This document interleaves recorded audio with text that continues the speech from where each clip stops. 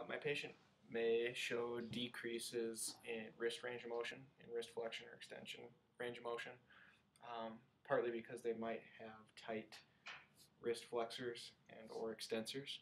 So I'm going to show a technique to uh, help increase that range of motion by yourself. So if this individual had tight wrist extensors, what I'm going to have him do is extend his elbow completely because these are two joint muscles.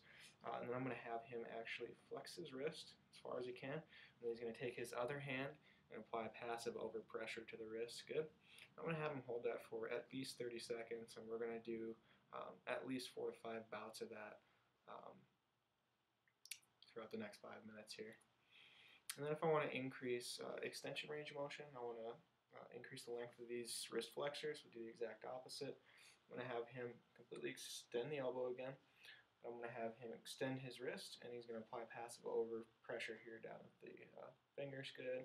Trying to get a nice stretch in those elbow flexors.